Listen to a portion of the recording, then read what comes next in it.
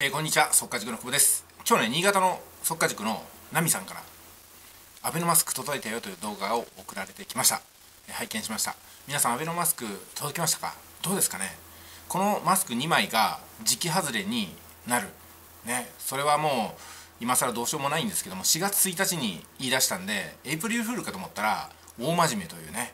うん、アベノマスク。何なんでしょうね。でもこの原因をもうちょっと考えてみたいと思うんですよ。私顔赤いですね。炎天下だったんでねちょっとね。なんでね安倍さんがマスクを全国民に配ろうなんて思ったかっていうとそれは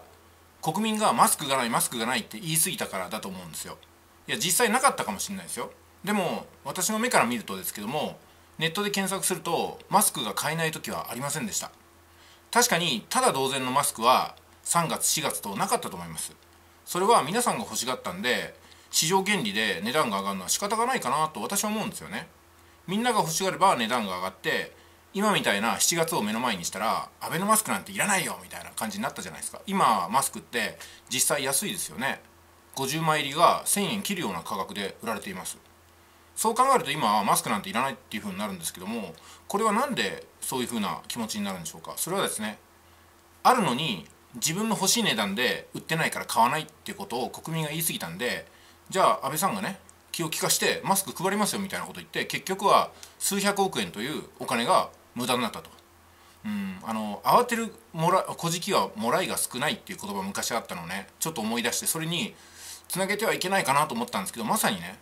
うん、1人が2枚のマスクを確保しようと思ったら1人200円出せばマスクが手に入った時期なんなんですよ3月といえども4月といえども5月といえども1枚100円がマックスですからね大体。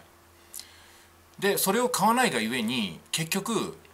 1枚200円送料込みで400円のマスクを、ね、全国民に強制配布されてしまったというね。結局高くついたんですよ、うん、これを考えると私たちはね、うん、どんなことの葉を下の上に乗せるかってことを気をつけないと、うん、このマスクがないっていう国民の声に乗じて悪く言えばですよ。安倍さんが特定の業者を儲けさせるための口実ができたと考えちゃっても仕方がないのかなと思いますんで